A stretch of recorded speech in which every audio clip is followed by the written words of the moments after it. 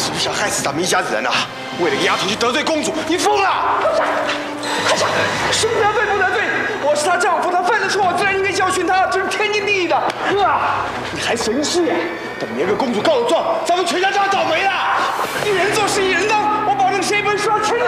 你什么也保证不了你，你完全可以冲昏头了你！不要吵，不要吵了吧！我这，我我还没搞清楚是怎么回事呢。什么新进府的丫头啊？到底是哪一个？把头抬起来！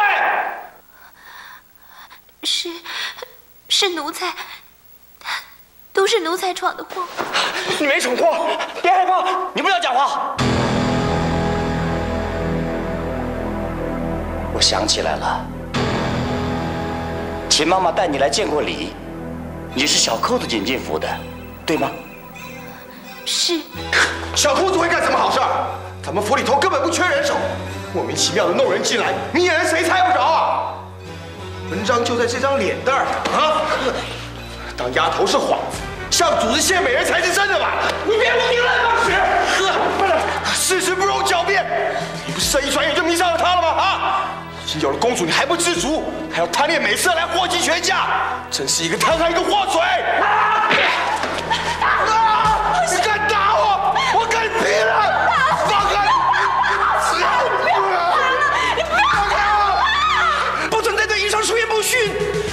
现在起，她不是府里的丫头，她是我的妻妾。用不着什么仪式了，我们已经木已成舟。现在一句话挑明，就算收了房。所以，她是你的嫂嫂，你不尊重她就是不尊重我。刚才那一拳正是向你学着乖，你要坏了礼数，我绝不容忍。阿玛，你就觉得他叫胡来吗？我怎么胡来了？纳个妾就叫胡来。如果阿玛不曾纳妾，你如何存在？你说说你自己怎么样？尚未指婚，可府里的丫头早有你的相好，要不要指名道姓？好啊，你就少说两句吧你。我真是被你搞得头昏脑胀了。你要纳妾就纳妾，没有谁会去反对你。你犯不着摆出一副拼命的样儿。只不过是个丫头，你喜欢就要了她。这种事儿大家心照不宣就是了嘛。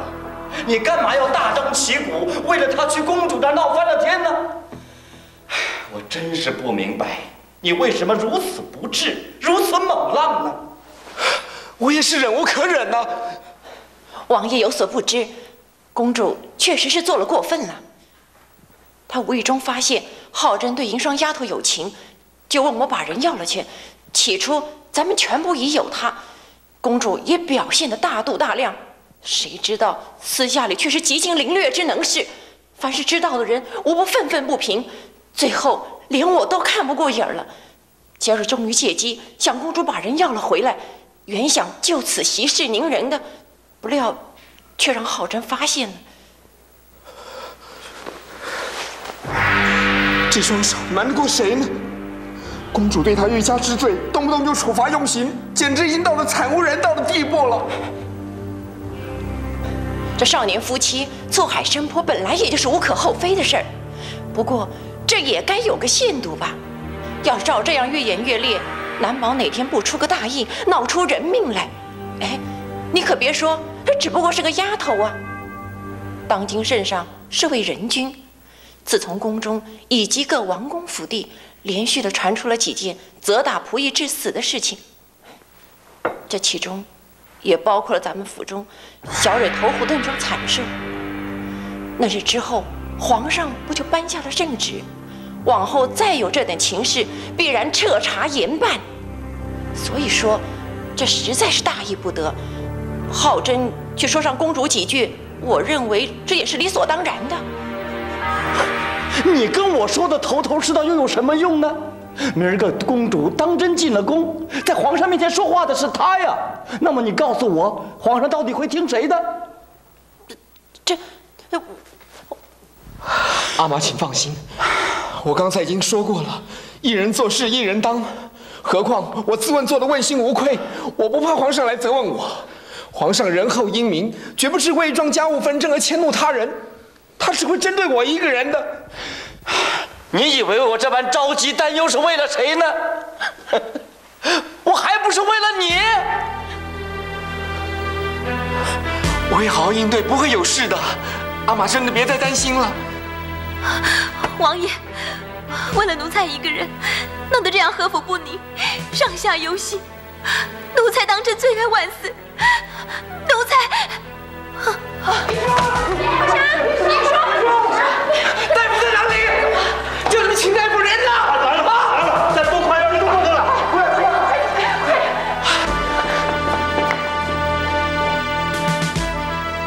老天呐，这孩子怎么用情如此之深，如此强烈呀、哎，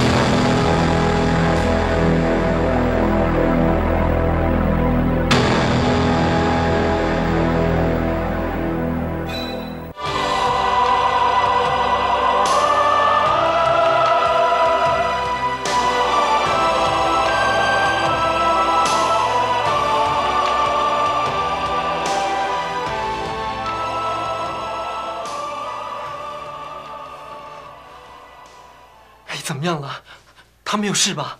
啊？恭喜恭喜，他有喜了！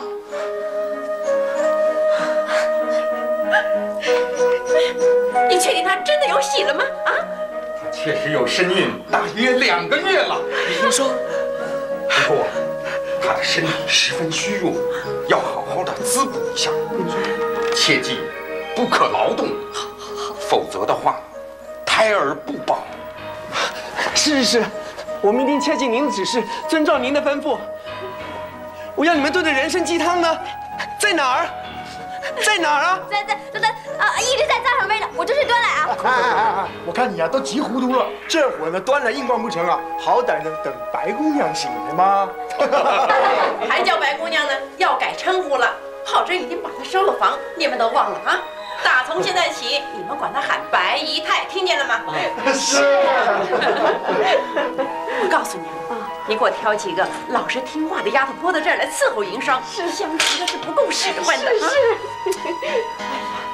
这间院也小了点，得换间大一点的院儿才行呢。哦，不能移，不能移，孕妇最忌讳这样挪动，会动胎气的呀。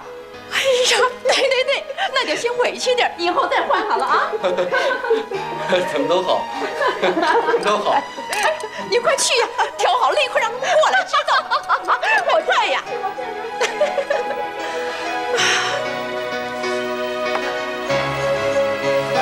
大夫，还需要注意些什么？哦，我给开两个方子，一个是消炎止痛，一个是安胎调养。啊，大夫，呃，您快开，开好了，我跟您抓药啊！哎，奴才跟福晋贺喜，奴才跟主子贺喜。恭喜主子！来恭喜主子，恭喜主子。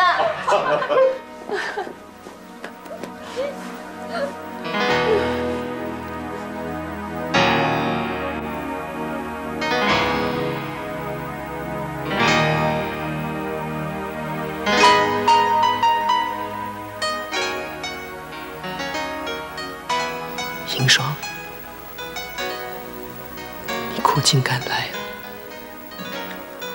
从今以后，再不叫你受半点委屈，再不叫你掉半滴眼泪了。什么？他有喜了？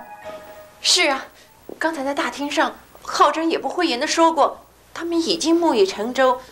这个我早就知情的，因此难免护着银霜些，也就是这个缘故。这这是喜事儿啊！虽然营生他是汉人，可是所生子女都要列入族谱。倘若生了个男孩，咱们这一脉不就成继有人了？这可不是大喜事吗？啊！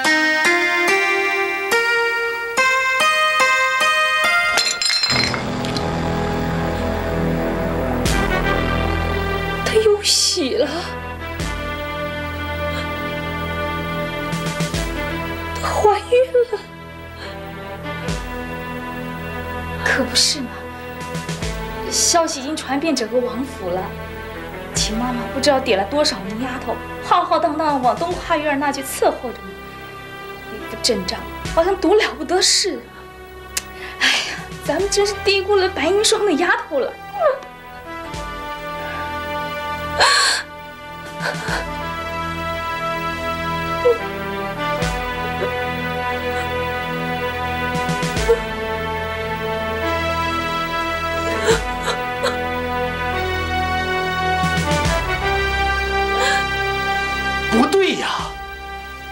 你刚才说他们的事儿你早就知情，可有多早呢？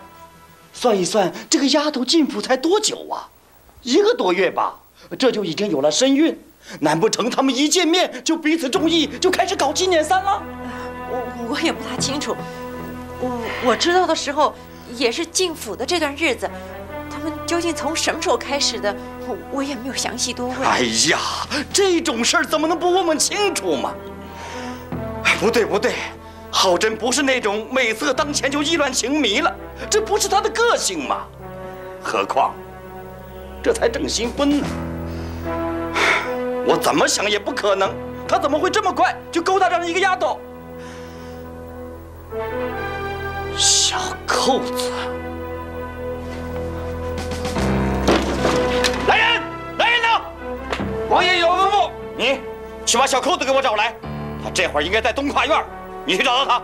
找，拿走。不要惊动珍贝勒，悄悄的把人给我带来就是了。好，去吧。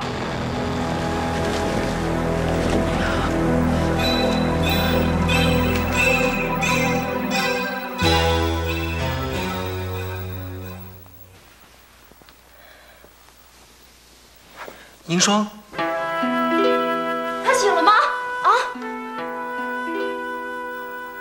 银霜，他真的醒了，我去钻进他。快去快去！觉得怎么样？头晕吗？手疼吗？肯定浑身无力，对不对？湘琴，快把稀汤端来的，再忍耐一下啊！大厅，大厅上，人人都好激动啊！想贝勒，想贝勒怒骂不休。王爷，王爷他好烦恼，好着急啊！不要紧，不要紧，那都已经过去了，不会有事的。快躺下来，快！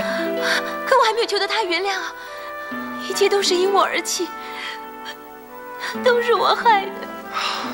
你没有犯错，你也没有害了谁。相反的，你委曲求全，付出这么高的代价，谁还敢来责怪你啊？就算有些人心里不痛快，可是看在你有了身孕的份上，也会就此打住的。你，你说什么？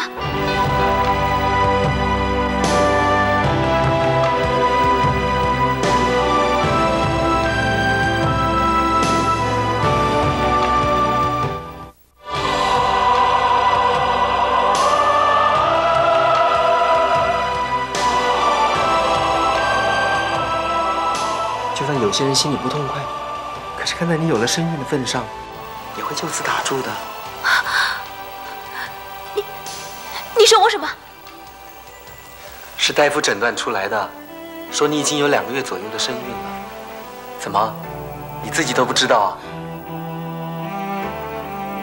真的，我真的有喜了。你不骗我，我真的有了。千真万确。我是有点怀疑，可是我不敢确定啊。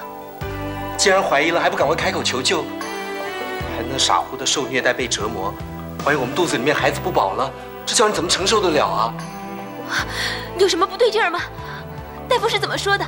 孩子还好吗？你快告诉我。好，很好，你不要紧张，孩子没事的。大夫说，你就是身子虚弱了些，需要好好的调养，千万不可以再劳动了。所以额娘已经去调好几个丫头过来伺候你，这会儿正在外头熬什么补药、疗伤的、安胎的，什么都有。你放心，不出十天半个月，准定把你的身子给调养过来。要好几个丫头伺候我。嗯，还有呢，待会儿如果你听见大伙儿左一声白姨太，右一声白姨太的，你千万别压抑啊，那是喊你的没错，这是额娘的命令。往后你也得改口，跟我一块喊阿玛、额娘，这是我的请求。我我真的可以，整个王府里的人都会接受我，真的是这样吗？我成为你的妻妾了，我我是白姨太，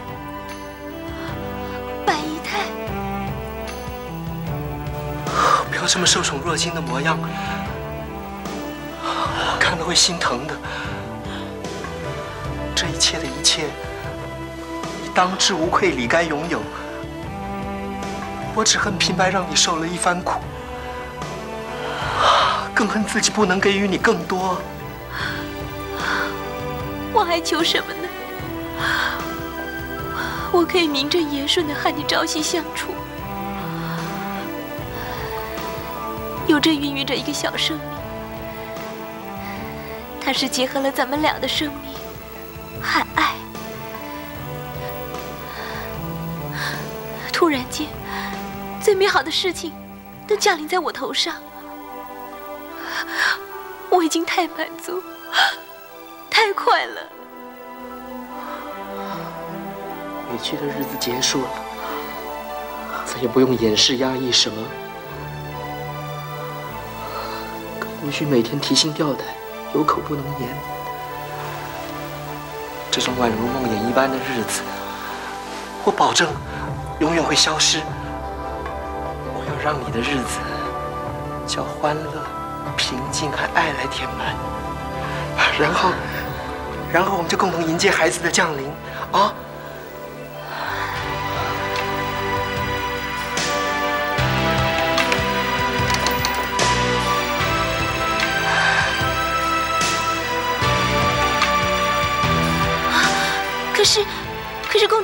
进宫去告状呢？万一皇上听了他的话，怪罪下来。现在唯一一件要你费心去做的事，就是把身子养好。以外的，全体交给我。对对，身子最重要，先把心放宽，然后多吃多补才行啊。来，让我来。不，这种伺候人的工作，怎能让你来做呢？怎么不行啊？伺候你们母子是我的权利，我求之不得呢。来。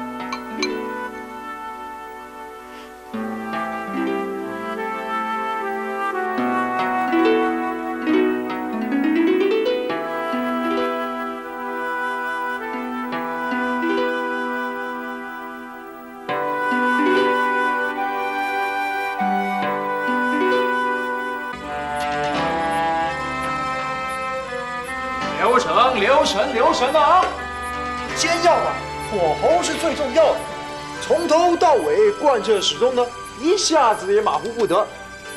这不单是煎给白姨太吃的，还有她肚子里的小娃娃，指不定呢，是个小小的王爷呢。哎呀，那可宝贝的紧了。所以呢，眼前呢小心伺候，将来嘛一开盘押对宝了。可有你们的好处了，懂不懂啊？是是。小伙子，小伙子，来来，过来过来。兄弟，你不在王爷跟前当差，怎么上这来了？王爷有请，只怕有赏啊。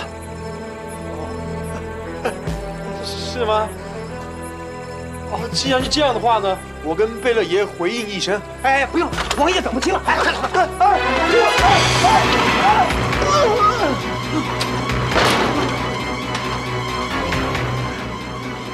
奴才贺喜王爷。哼，喜从何来呀？我正要好好的问问你呢。奴才愚钝，呃，不明白王爷的意思。还装糊涂？哎，不敢不敢，奴才不敢，奴才不敢。我问你。银霜跟你是沾亲带故的，他是否在进府以前就已经认识浩真？此事关系着皇族血统，非同小可。你要实话实说，听见了吗？哎，渣，渣，哎，这件大事，奴才不敢撒谎。奴才用项上人头担保，白银霜怀的孩子千真万确是贝勒爷的种啊。这个呃，这这这这个实实不相瞒，他们的确呢是在银霜进府之前呢就早已相识了。是吗？那自然是透过你才有这种机会喽。是，你是何居心？我，没有没有啊，呃，王王爷容禀，事情的来龙去脉是这个样子的。奴才父母早逝，孩提时代所有长辈中，就是一个三婶婆最照顾奴才。这乌鸦上至反哺，如今奴才小有点办法，所以常借着初五之便去探望探望他老人家。贝勒也体恤奴才，总是跟着一块去。呃，就在。呃，就在数月之前，呃，正逢银霜父亲过世，呃，他们，呃，他他们姐妹俩呢，借住在三婶婆家中，呃，那一趟，那一趟，呃，贝勒爷呢，就就跟他对对上了眼。那后来呢？后后后来啊，后来啊，就一回比一回对眼了。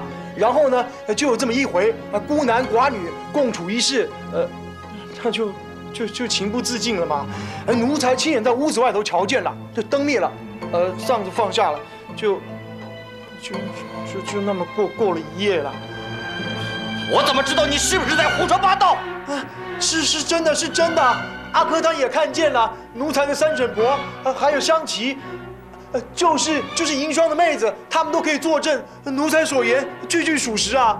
哦，原来如此啊。这下子我可是扣上了，扣上什么了？哎，上一回啊，浩真彻夜不归，偏巧呢让我撞了个正着。当时啊，他们还哄骗我说什么出城游玩，跑得太远了，一时不察迷了路，等找着路了，天也黑了，进不了城，因此啊就在外头过了一夜。我也不疑有他。只是狠狠地教训了一顿了事儿，现在方知是另有文章的。荒唐，荒唐！都叫你这个才只手遮天、胡天胡地的乱搞。想不到浩翔还说对了，当丫头果真是个幌子，根本是你一手安排的进府，处心积虑的让他坐上白姨太这个位子。这下你可风光了啊！一个浩真，一个白姨太，往后你不是更得势、更嚣张了？这这奴奴才不敢，王王爷英明啊！奴才在你面前呢，好比是那纸纸糊的灯笼，是一戳就穿的。这这虽然说这蚕肚子里的东西尽是丝，奴才确实有心照顾自己人，可是可是最主要原因还还是贝勒爷喜欢嘛。现在呢，银霜升格，奴才固然觉得光彩，可是可是最多最多也不过是那么有点狗仗人势的味道，嚣张是绝技的不敢呐。王爷明察，奴才这会知错了，以后再也不敢了。哼，你我还不知道吗？偷鸡摸狗，胡作非为，烂账积了一大堆的时候才知道害怕。你以为只需要？动如簧之舌就可以蒙混过关、轻易讨饶吗？你做梦！大王饶命啊！我没看到哪你要我是怎么样呢？既然已经问明真相，安了这颗心，你又何必要？你不要替他求情！我不狠狠地教训他一顿，他总不学乖。最初就是他带着浩真逛酒楼，替什么卖唱的姑娘捧场、闹事打架的，你给忘了吗？现在。又搞美人计，老是这些个玩意儿。他以为他自己有靠山，谁也动不了他。总是让他心想事成，那还了得吗？我今儿个就是让他尝一尝动一动的滋味。哎呀呀！哎呦！哎呦！啊！哎呀！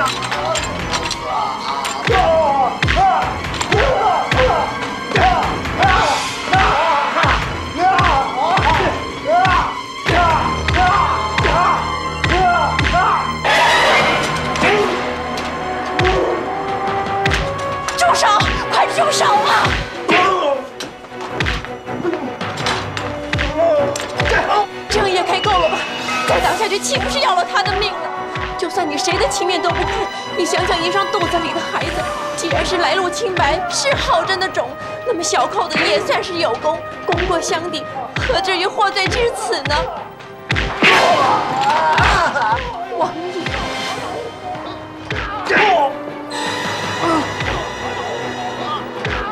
行了，到此为止。我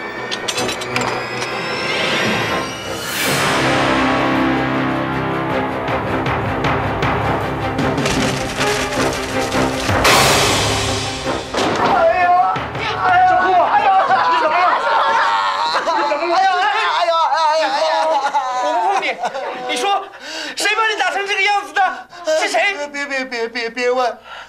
你们把耳朵竖直了，注意听，我就有力气说一切。快说你他妈少废话省点力气你说正经事行不行哎呀，你别叫，下个就轮到你，还有你，还有你，统统跑不掉。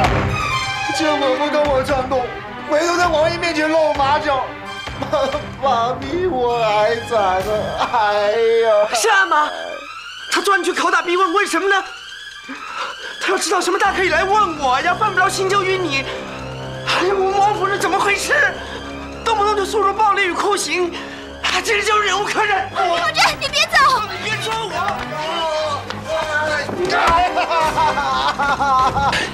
你干什么？吓死我了！你这么冲动，才吓死我了呢。王爷审问小扣子，八成是与我有关。你好歹先听他把话说完，可不可以呢？梅老爷，你又怎么了？阿克丹，快搀他起来。是。哎呀，贝勒爷，你这么疼惜奴才，别说是一顿拳打脚踢，就是为你肝脑涂地也在所不惜呀。奴才在这，怪不过你的心，请你，请你别心疼。奴才这件伤并非因为逼问拷打出来的，王爷没有请求奴才，真的没有啦。好了，我烧完木灶，你快起来说话吧。是，哎哎呀哎呀，是是这么着。王爷怀疑白玉太肚子里的孩子来路不正，哎呀哎呀哎呀！哎呀想想也是嘛，咱们全高兴冲昏了头，忘了日子不太对劲，才进五月余，哪来了两个月身孕嘛？哎呀，当真糊涂糊涂的紧呐！这……呃，所以啦，奴才只好坦诚，你们在进府之前早就已经相识了。什么？取消了？哪那么不通用啊？只有感情气场差不多说了实话。至于身份关系，还照老道说词儿。发生地点就在三井婆家中，你们得记住这几个关键，就不怕出错了。哦，起码跟铁锈记一样。什么什么呀？就是彻夜不归那回嘛。你是陪着福晋一块撞见的，可咱们的说法是出城游玩，一时迷了路，所以外宿一夜。这是福晋编的话，你得跟他对上了，记得吧？哦，记得记得，放心吧，我的脑袋还管用。好了好了，你们也甭紧张了，这么耳提面命一番，不过是为了以防万一。依我看，刚才就凭福音同我那么一搭一唱，王爷已经相信，所以我才倒霉的。怎么说呢？为什么？这个王爷呢，自然是相信咱们的关系，才生气奴才居中的穿针引线。为的全是一片私心，就像那祥贝勒说的，是给主子献美人。这样的话放过来，奴才当然赶紧照单全收啊。反正这种作为倒挺适合奴才的个性，揽下来倒显得逼真。就是真的过了火，王爷一怒之下非教训奴才这个坏胚子不可。哎呦，我真的很难过，也很痛苦。觉得自己像块石子，被投入一片大湖中。他无心弄皱湖水，可他有什么法子？只有眼睁睁看着涟漪一圈又一圈的扩散开来，会波及到什么？那完全是无法控制。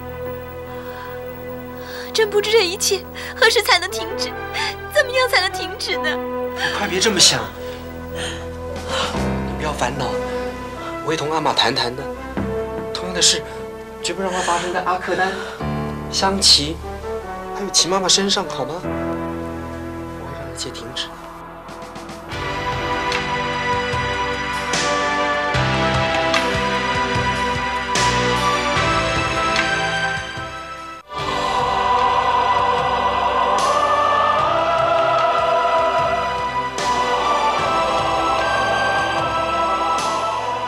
烦恼，我会同阿玛谈谈的。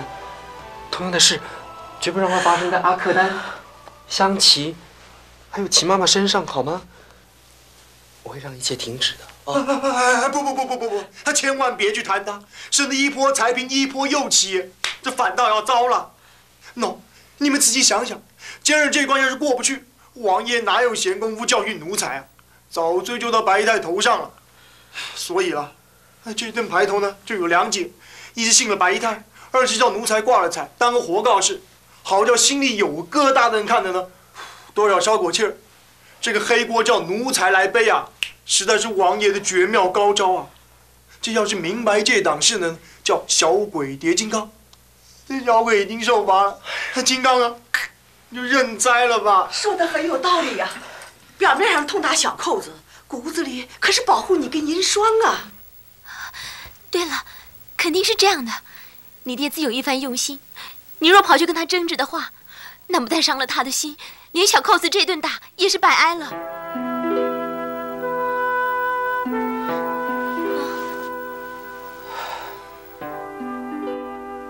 阿克丹，快带他去上药，好生给我照顾着。是。哎，你这猴崽子，一向胆小如鼠，贪生怕死，想不到也有带种的时候。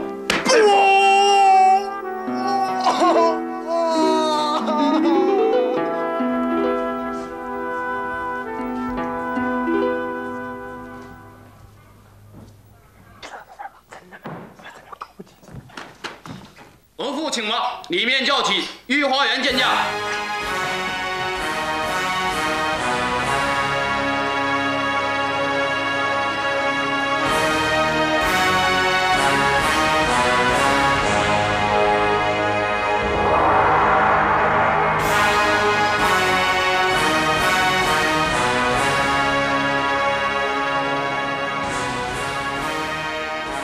恭请圣安。兰星今儿个进宫请安来了，他说了许多事儿，都是有关你如何如何的欺负他，你可有什么话说吗？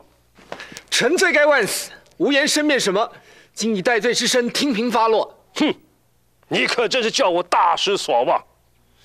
当初为了甄选额驸，是何等的花费心思、精挑细选的，而且。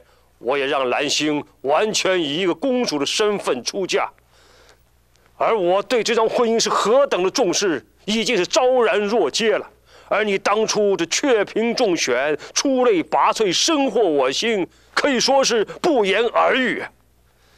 然而，新婚才三个多月，你就让兰星哭哭啼啼的回来说这婚指错了。这话实在是让人大出意外，也大失所望啊！臣惭愧无比，皇恩浩荡，臣不知勉力图报，反而辜负天恩，当真罪不容诛，请皇上降罪。降罪就能解决问题吗？好，咱们现在撇开君臣之分，我纯粹站在一个父亲立场同你说话。你要纳妾，要几个女人，这都不是问题的关键所在。而是你怎么可以在新婚期间，却让一个侍女怀了身孕？你叫整个王府的人作何感想？你叫兰心的脸往哪搁？你如此明显的委屈她、欺负她，莫非是没把我放在眼里了？皇上，不要搬出你大他告罪之词，那不是我要听的。以你的聪明、沉稳，你怎么可能会做出如此荒谬糊涂的行为？实在是使人无法理解。你必须给我个解释。就算我要降罪于你，也要听听你的解释。你给我起来，别净在那磕头敷衍了。扎。皇上容禀，臣被一时为美色所迷惑，臣与那侍女发生感情，早在指婚之前。虽然明知婚姻不能自主，将来使君有妇，她是毫无名分地位可言。然而情到深处无怨尤，他完全不计较。他的一片真心痴情，强烈到对臣可以粉身碎骨而不皱一下眉头。这样一个女人，无法不令臣刻骨铭心。除了对她情有独钟之外，臣还能给予她什么？祖制不能不从，圣旨不能不遵，皇恩不能辜负，父母的期望不能破灭。这许多不能，逼的臣只有牺牲了她。她身为侍女，含悲忍泪。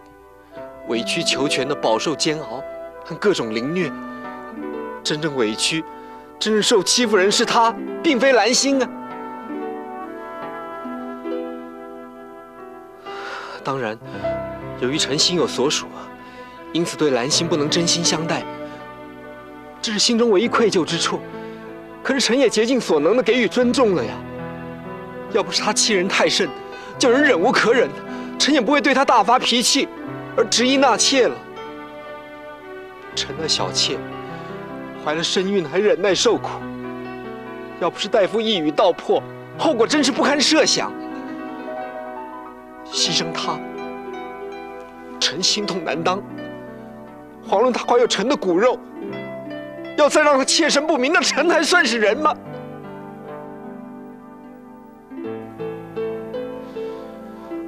对兰心大发雷霆。臣问心无愧，可是辜负皇上的一片厚爱与期望，却是身不由主。臣，臣忠心领罪。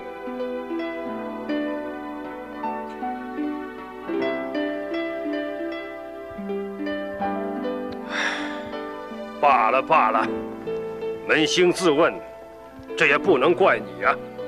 起来吧。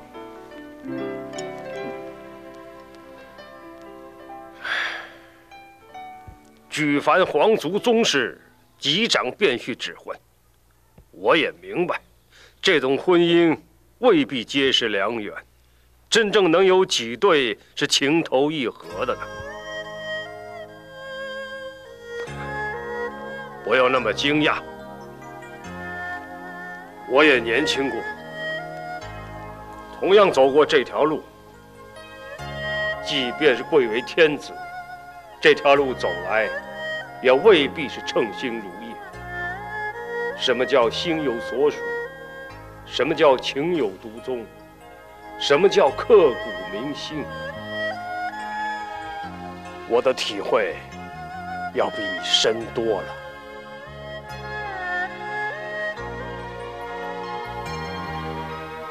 一般人总以为以帝王之尊，那是要什么就有什么。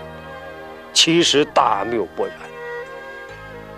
帝王也有他不为人知、悲哀的一面。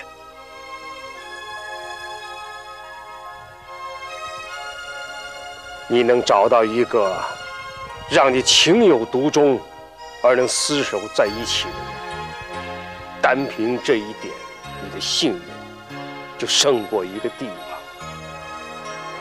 皇上，这番话。咱们就彼此搁在心里。兰心交给我吧。不过，虽然情有可原，可是你今后也不能冷落他。无论如何，你要牢牢的记住，他可是你的正式原配。扎，臣谨遵圣谕，谢皇上宽宏大量，不罚之恩。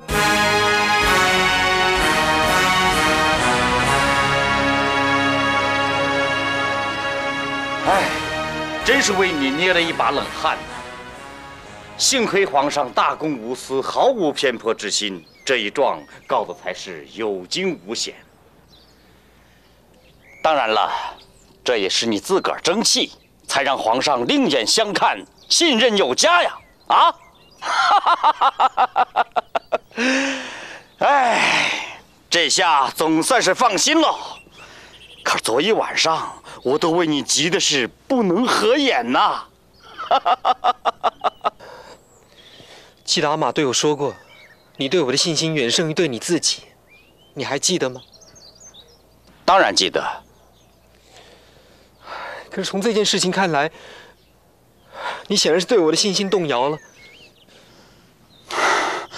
这话从何说起啊？倘若你对我也是信任有加，就不会趁着我一心照顾银霜、无暇分神的当口，捉了小扣子去审问。怎么，你要质问我这个？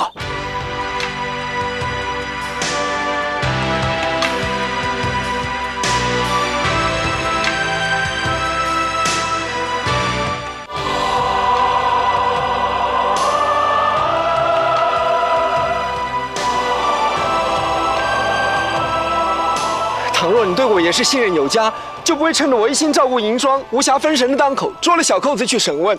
怎么，你要质问我这个？那个混账东西是八上生床，坏上加坏，可你却处处替他护短。不是的，小扣子固然是有他的缺点，油嘴滑舌、贪小便宜、抢功推过、华而不实，可是这些都是无伤大雅的孩子脾气啊。骨子里他是一个感情丰富、心地善良的好人，要不然我不会这么宠他、护他，而秦妈妈更不会疼他。尤其是刚正不阿的阿克丹，又怎么会同他合得来呢？你说对不对？哼，阿玛，阿玛，说这些绝无质问的意思，是因为心中难过、不吐不快呀。你既然信任我，就应该信任我身边的每一个人呢。哦，照你这么说，我心里有什么疑惑之处，连问一问都不应该喽。哎，你说这话的时候，是不是应该先检讨一下自个儿呢？啊，我不愿意对你信心十足吗？事实叫我不得不怀疑吗？回想你和公主新婚期间，却久久不能圆房，你知不知道私下里都把我们给急杀了？好，你紧张，你怯场，你不知所措，这些我通通可以接受。可现在。突然冒出了一个刚进府越狱的丫头，而她却怀了你的孩子，这叫我如何接受呢？我怎么能不问问清楚呢？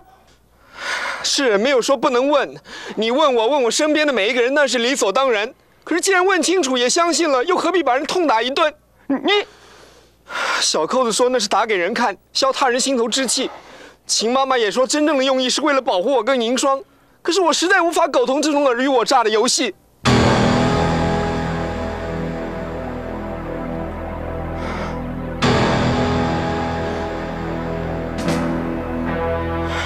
我一再强调，一人做事一人当。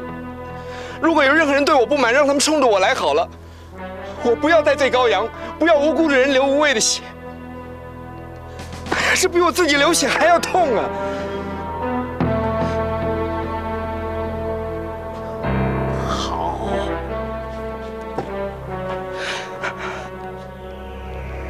好，好，好，好。你已经是个十足的男人了，我不该小觑了你，不该再把你当孩子看待了。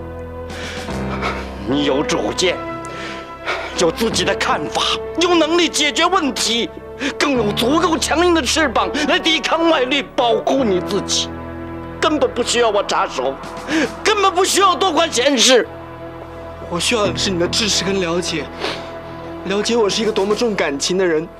支持我去珍惜每一份我付出去的情感，我由衷的恳求你，阿玛，尽管我说的话有许多冒犯之处，那也是因为我急于表达我的心态。我就是这样一个人，所以银霜被欺侮我受不了，小扣子被打得遍体鳞伤我也受不了。对于公主，我可以端出做丈夫的身份，让人面对你，我只有跪下来恳求。请你答应，让我们府中再没有这样的血腥事件吧，阿玛。我的傻儿子啊，我真弄不懂，你从哪来那么多感情啊？江河滔滔似的，取之不尽，用之不竭。打从小时候你放生白狐说起，就已经露出了端倪。而后，就是你的主仆之情，截至目前的男女之情。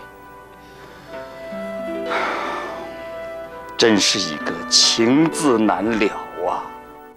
可是阿玛，对于一个万圣之尊、君临天下的帝王而言，却在遗憾着一个情字难求啊！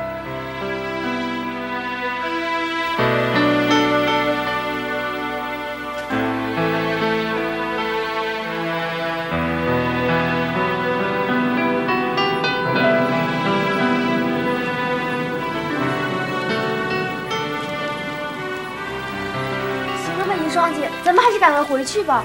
在王府里烧纸钱，又穿白衣服，这可是犯大忌的。要是叫别人看见，可就糟了。不会的，这么晚了谁会来这儿呢？咱们已经很小心了。现在院子里多了几个丫头，也差不多都睡下了。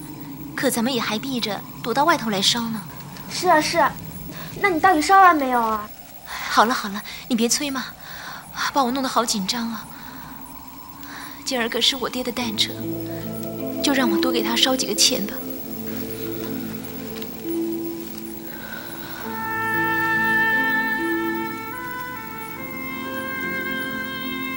爹，侯门已入深似海，你的墓现在怕是荒草极稀了？原谅女儿身不由己，只能在这儿跟你多烧几个钱。你瞧，我总算熬出头了，还怀了身孕。你的小外孙，你高兴吗？我是苦尽甘来，可以快乐度日了。希望你在地底下也得着安慰。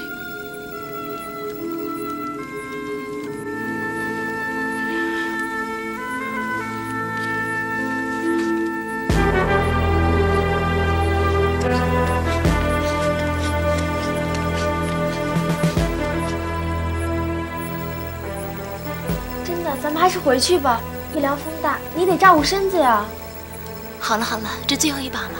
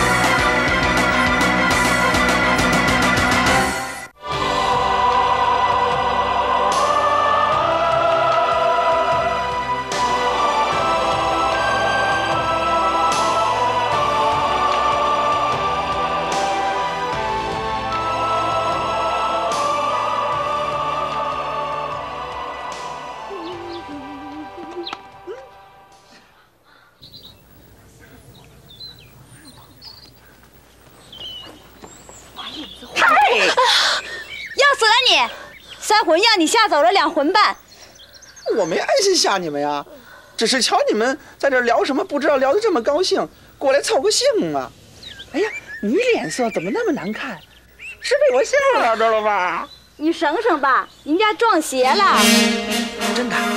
哎，怎么回事？快说来听听。我先问问你，你知不知道东跨院过去住着什么人，还是出过什么事儿啊？这不大清楚。哎，你问这干嘛？那儿不干净，闹鬼呀！什么什么闹鬼？小玉亲眼看见的。你说，你说，你快快说说。昨夜里啊，我打那儿经过，原来是好好的，可一到那儿就不对劲了。先是阴风惨惨的，接着空中竟然会莫名其妙的飘来好些纸钱儿。纸钱儿怎么会呢？哪儿来的？就是这么说呀，够吓人的。还有更吓人的呢，别打岔。是啊，紧接着呢，我看见一个白影子飞快地飘进洞花那里去了。虽然是一眨眼的功夫，可我看得清清楚楚，绝对没有花眼。啊，你说是白色的影子？啊，一身的白，从头到脚全是白色。男的女的？那身形肯定是女的。我瞧，多半也是个女鬼，比如像被冷落的妻妾了，要不然就是受不了苦、想不开的丫头了。哦，对了对了，几个月前刚出过一条人命，听说刚要进宫献舞的，却突然投湖自尽了。怕不是她也住那东跨院吧？呀别说了别说了，我越听越怕。嗨，不怕不怕，我跟你说呀，那根本不是鬼魂，不是鬼魂，难不成是人？谁会穿着一身白衣裳，半夜里到处游荡啊？白衣裳是犯大忌讳的，谁敢那么大胆？哎呀，这不是大胆不大胆，人家是现出原形，他没法子呀。谁让人家是胡大仙呢？什么？胡大仙？谁呀？还有谁呀？自然是东跨院里住的那一位。你是说白姨太？哎，那可不是。额驸小时候有这么一段捉白狐、放白狐的故事。听过吧？听过，听过。谁不晓得？怎么样呢？动动脑子呀！白姨太姓白，进门的不久就从一个丫鬟摇身一变成个白姨太，还怀了额驸的孩子。这也太神通广大了！还有啊，那白姨太面貌姣好，那股子飘逸的气质，颇有点仙风道骨的味道。这些个样都在一块儿，说不定他就是那只被放生的白狐，为了感念救命之恩，便化作人形前来报恩来了。不信你们等着瞧，这一胎呀，准是男孩送子报恩嘛。所以我说你们别怕，大仙固然得罪不起呀，可是他是来报恩的。那就绝对不会害人。谁说他不会害人？啊公主，哼！不好好当差，竟在这拌嘴嚼舌、胡言乱语，给我掌嘴五十，自个儿重重的打！打！崔妈妈，你盯着他，给他唱数，一下也不能饶。是。哼！打！什么胡大仙，明明是个狐狸精！白衣太是胡大仙的，他是来送子报恩的。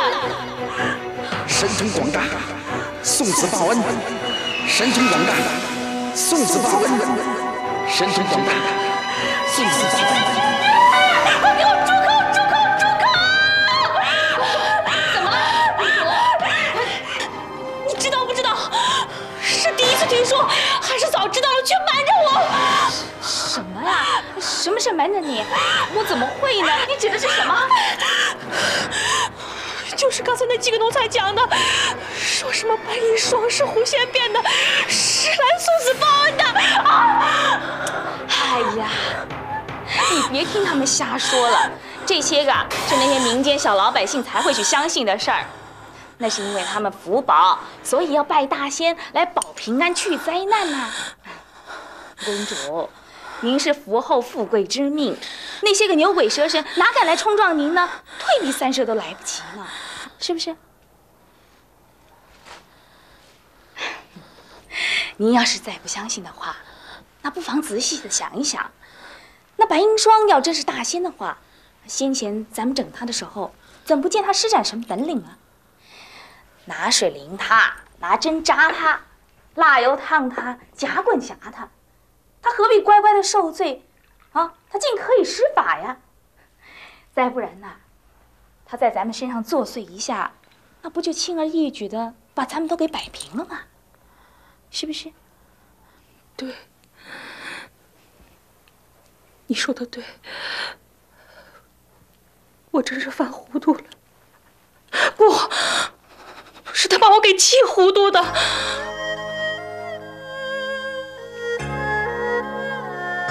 也不知道他为什么那么走运，居然怀了孕，一下子前呼后拥，身价百倍似的，连皇阿玛、皇额娘也不为我做主。真不知道浩真是怎么说的，居然说服了皇阿玛，倒反过来劝我相敬如宾，家和为上。怎么会变成这个样子？我真不知道该怎么办，该怎么办？事到如今，我心里头有几句真心话，哪怕再不中听，你也非试着听进去不可了。现在的你，不管心里有多么的怨恨，多么的气愤，甚至于胡思乱想，这都是突然跟自己过不去而已啊。现在最要紧的，不是怎么样去对付白银霜，而是怎么样挽回额父的心呢？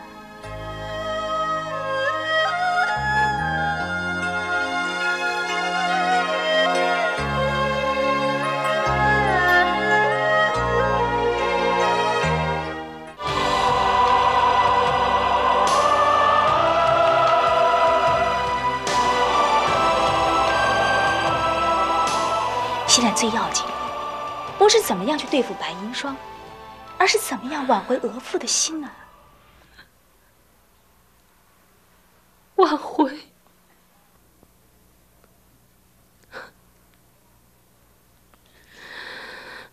我甚至怀疑，我曾经拥有过他的心吗？如果根本不曾，还谈什么挽回？快别说这种丧气话了。你是正室，年纪轻轻的，容貌又赛过对方，怎么挽不回呢？他也不过是抢先怀了孩子嘛，那又怎么样？嗯，好，就算他肚皮争气好了，给生了个男孩，可你就不会生吗？你是公主，他是汉人呢，将来你生的儿子。哪怕不是长子，可才是真正的金枝玉叶。他那个哪比得上啊？更何况他生的还不一定是个男孩，生生生生生，孩子说生就生的吗？人家好歹是有了，可我呢？早在撕破脸之前。闺房里就推三阻四，勉勉强强的。现在可好了，人家是专房之宠，郝真根本不上我这儿来，寻找也置之不理。你让我怎么生？让我怎么生啊？好了好了，不难过不难过了，你等着看好了。他现在有孕在身，专房不了多久的。再过一段日子，额父一定会到你这儿来，不就是你的机会了吗？啊！天哪！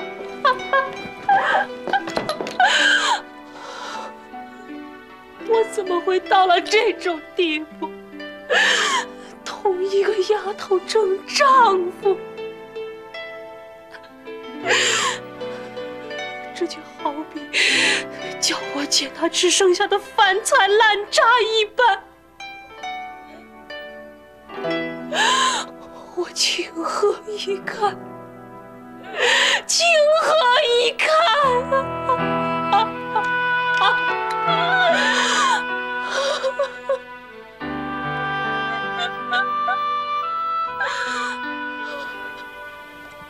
白银霜。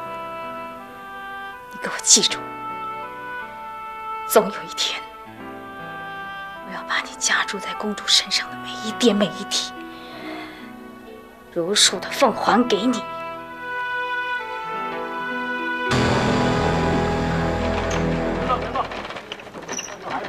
来来来，我敬。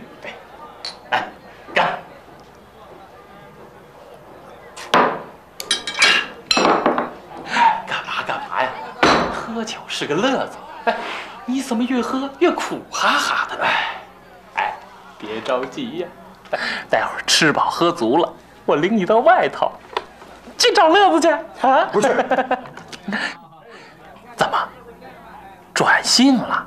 哎呀，你少挖苦我了，今儿个没兴致。看得出来，准是在家里吃瘪了，对不对？我都快叫我那哥哥给气死了。哼，我相信他是有这本事的。原来就趾高气扬、目中无人，娶了公主以后越发的不得了，最后连公主都不放在眼里了。啊？怎么说？说来也真不可思议，我那位无比清高、满嘴仁义道德的哥哥，居然也会在暗地里搞鬼，搭上了一个刚进府不久的丫头，还为了她去跟公主大吵特吵，愣要把人家扶上来收房，因为那丫头怀了他的孩子啊！啊，竟有这种事情？哎，他好大胆子呀！是吧？他为美色不要命，可以别拉着一家人的脖子往刀上抹啊！说他几句，他还动手打人，这真是气死我了！偏偏叫他走了运，皇上居然护他不护公主，嗨，这下倒落了咱们的不是了。他的气焰更甚了，要咱们全家拿那白银霜当快跑。什么？你刚才说什么？好大！他为美色不要命，可以别拉那一家人的脖子往刀上抹啊！说他几句，他还动手打人，这真是气死我了！偏偏叫他走了运，皇上居然护他不护公主，嗨，这下倒落了咱们的不是了。他的气焰更甚了，要咱们全家拿那白银霜当快跑。这个，你说什么？还什么？看你喷了我一身都是！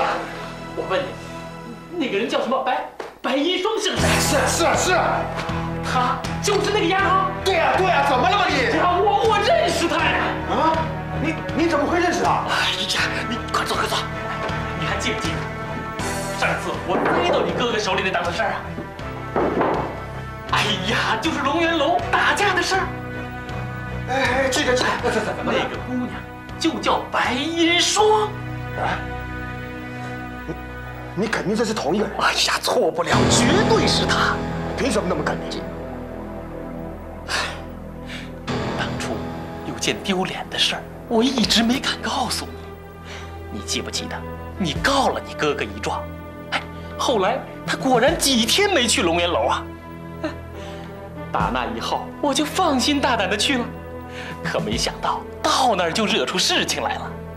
白银松他爹被我的几个手下给打得一命归天了。几天后，我听说他在天桥露脸儿，说是要卖身葬父。我不死心呐，我就赶到天桥，准备把他买下来回家快活快活。可没想到，哎呀，真是冤家路窄，你哥哥他又来了。这次我就更惨了，我被打的是屁滚尿流，掉头就跑。唉，打那以后，我就再也没有白银霜的消息了。我还回去找了几趟，结果还是不了了之。啊，感情让你哥哥给藏起来了。哎呀，他妈这小子，怎么揭他的底？揭他的底？怎么揭？听着啊，明儿个咱们府里头传班子看戏，到时候你来，啊、我给你引荐公主，然后咱们叫大伙真正的看一场好戏。嗯。啊，高高！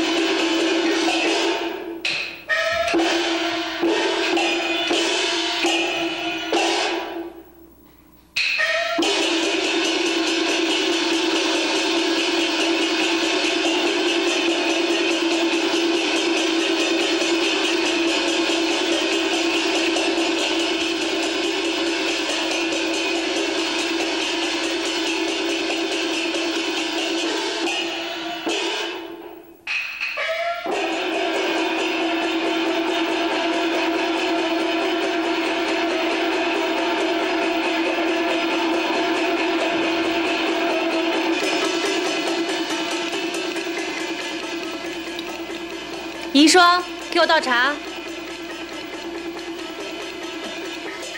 公主，还是我帮您倒。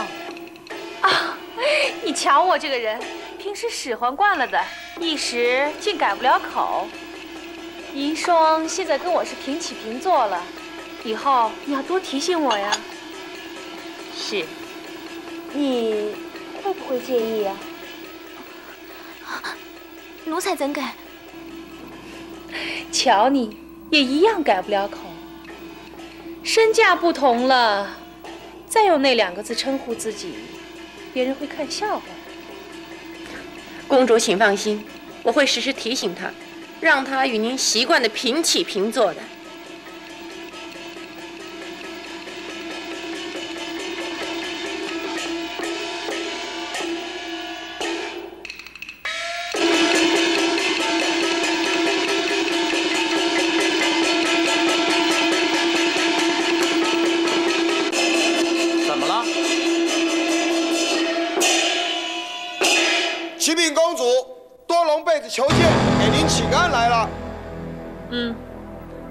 来请安吧。到。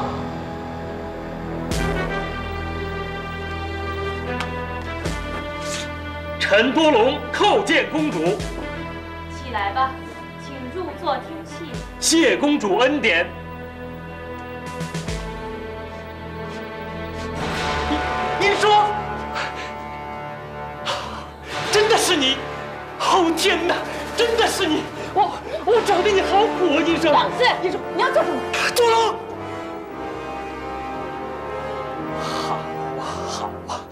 这才明白，当初你恃强把我的阴霜抢走，根本就是想占为己有。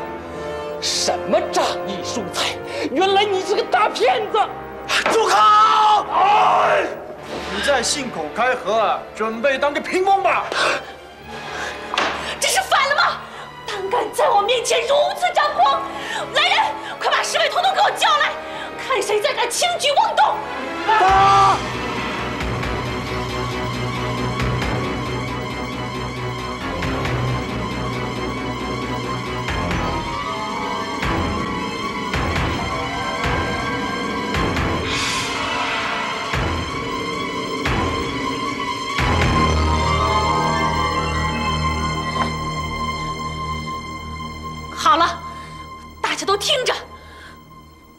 多隆和银霜究竟是什么关系？有没有瓜葛？是不是信口开河？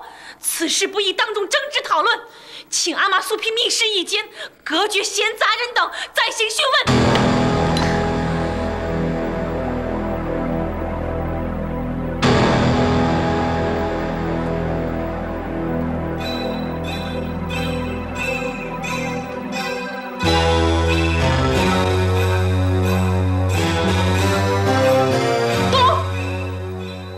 别怕，尽管实话实说。现在我问你，白银霜跟你之间究竟有什么关系？他他是我的相好。胡言乱语，你就放尊重点。让他说。对，让他说。此事攸关整个王府的名誉，有些事恐怕连你都糊里糊涂的被闷在鼓里，咱们不能不听听看呐。对，你说你说，究竟是怎么回事？是你快说呀！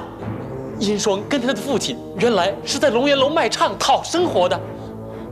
卖唱？是啊，就是那种抛头露脸、走江湖卖艺的。苏来举，是，我把他的厂赏钱给了后，他自然就对我百般迎合，就同我要好起来了。我没有，我是卖唱的不错，可我不卖笑、啊。这是他无中生有捏造出来的谎言。银霜身在风尘，那是环境使然。他出污泥而不染，那么卖唱又何损他的人格呢？真正的事实是他有骨气，不屈从，因此得罪了多隆。是是是，他三贞九烈，高风亮节。如果他不是如此的表现，你又怎么能够上钩啊？又怎么能够同我争风吃醋，在龙源楼大打出手呢？你，风尘女子都会他那么一套。什么？原来她就是那个卖唱女？怎么，怎么会弄成这个样子呢？阿妈知情？王爷他是只知其一，不知其二。银霜的父亲后来意外身亡，他要在天桥卖身葬父。我念着旧情，就去那儿花钱买他，可没曾想额驸也风闻而至，竟与我武力相夺。我哪儿打得过他呀？只好眼睁睁地看着把我的银霜给抢走，就此藏起来了。真有此事？他曾与你当街抢人？你厚颜无耻，睁眼瞎说！分明是你指挥你的手下欺负银霜，几个大男人当中唯有一个弱女子，太可恶了，我才出手教训你。哎，是他先攻击我，我的手下当然要保护我了。是，我攻击你。那是因为你是我的杀父仇人，我要为父报仇啊！你，你不要血口喷人啊！你父亲是自己从楼梯上跌下去，摔成重伤，一命呜呼的。他是被你人拳打脚踢，才挺受不住跌下楼的。哎，你胡说八道！我，王爷，这反正唱作俱佳是他的拿手本领，他就是用这招把额驸拾到的服服帖帖。说穿了吧，他这叫移情别恋。他看人家爵位比我高，来头比我大，哎，就想借更高的支飞才过瘾。坐了！公主，公主，公主，公主来！公主，哎，公主救命啊！将上阳重伤，巨型邪恶，太卑鄙了！快来人呐！快来人呐！哎，公主，公主，救命啊！我知道你得不到银霜，心有未甘，可是那是我造成的。无论你想怎么报复，尽管矛头指向我，放马过来啊！不要去冤枉银霜，问问你的良心吧，你害得他还不够惨吗？这样赶尽杀绝，你不怕举头三尺，神明有眼？你不要装神弄鬼的，我我说的都是实话，我怕什么？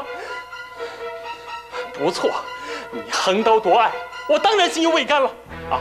谁不想做个男子汉，冲冠一怒为红颜？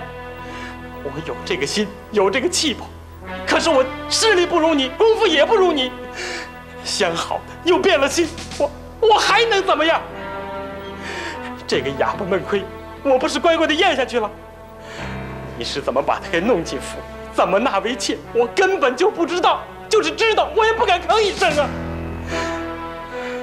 今儿个完全是巧合，乍见旧时情人，我一时忘形，这这也是人之常情嘛。惹得公主要问话，我只好据实以答。这怎么叫报复？冤枉什么的？她都是你的妾了，我我还敢怎么样啊？我够了，真是不堪入耳！我现在问你一句话，你给我老老实实的答。你左一声相好，右一声情人，他跟你相好到什么程度？他他真的都给过我了吗？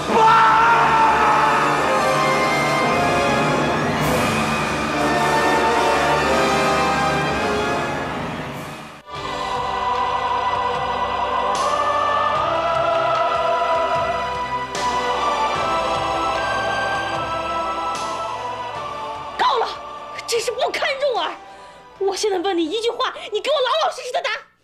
你左一声相好，右一声情人，他跟你相好到什么程度？他，他真的都给过我了我没有，绝对没有。好真在龙云楼张仪下注的那一天，我才头一次见过多龙这个人。而且在那之前，我同我爹才从外地回京，开始在龙云楼卖唱，也不过五六天的功夫。如何跟他有所牵扯呢？根本是素昧平生，毫无瓜葛。请公主明察。怎么查呀？照你说的吧，才进京五六天的功夫，就招惹上了两个王公贵族，为你打打闹闹，纠缠至今。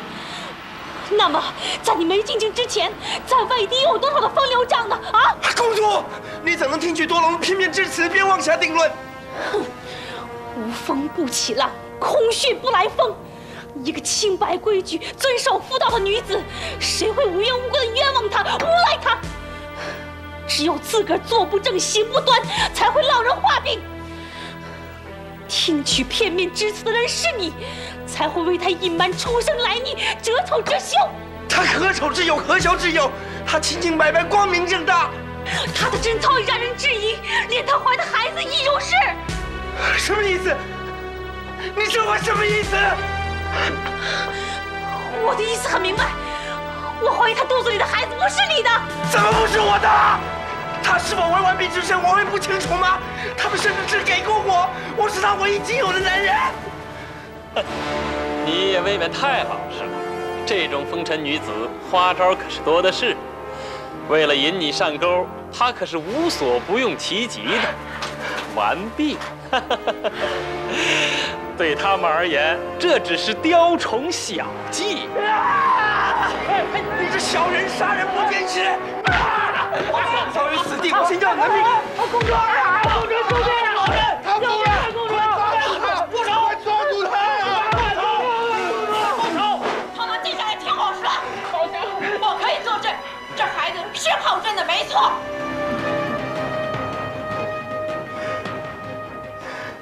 关于隐瞒一双来历一事，我也有份儿。当我知道他委身浩真的时候，正是皇上降旨指婚的时候。到那时候算起，到现在为止有四个多月了，而大夫的诊断是两个多月的身孕，那么在时间上便无可疑之处啊。说说进府之前吧，他被安置在一所隐秘之处，除了几个亲信可靠的人，像小扣子和他三婶婆，还有秦妈妈湘琴阿克丹之外她绝没有再接触过任何人。这一点我可以负责担保因此她肚子里怀的孩子是浩真的根本毋庸置疑呀。